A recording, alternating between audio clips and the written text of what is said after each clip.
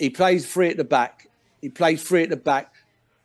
I look at this. If he'd have gone into Chelsea at the start of the season, and you look at Chelsea and you'd go, oh, that ticks the boxes. Oh, don't get me wrong. Maresca's done brilliant, but I'm just saying, if he'd have gone in before Maresco, you'd go, oh, he ticks the boxes. You can see why Chelsea are trying to get him. They want to play three at the back. They've got a lorry load of defenders, Chelsea, very quick defenders, centre halves.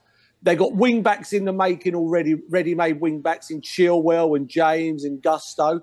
They've got a centre forward in in uh, Jackson that holds the ball up, can run beyond, and he's he's a handful. They got natural number tens in Palmer and Kuka and Kuki and Kuka, sorry, and then you know they got midfield players. But you look at this Man United team, you think right, they haven't got a forward who's dominant. They haven't got number tens.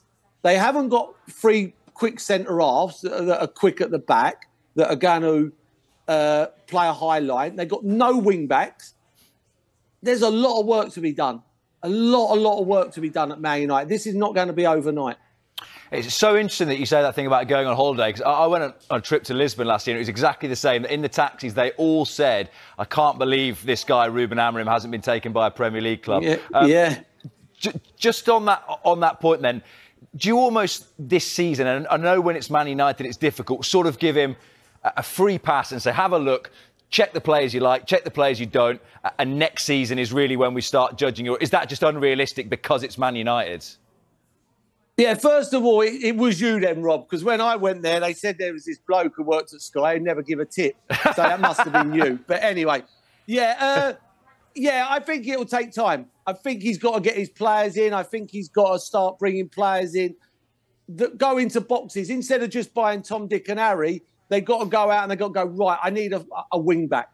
I need a dominant centre forward. Will they go and buy a Gyökeres? Uh, Probably will, but I don't think, I think it's a 100 million. I think that's too much. But he'll want someone like him, 100%. I, I think he goes and tries and gets him next season.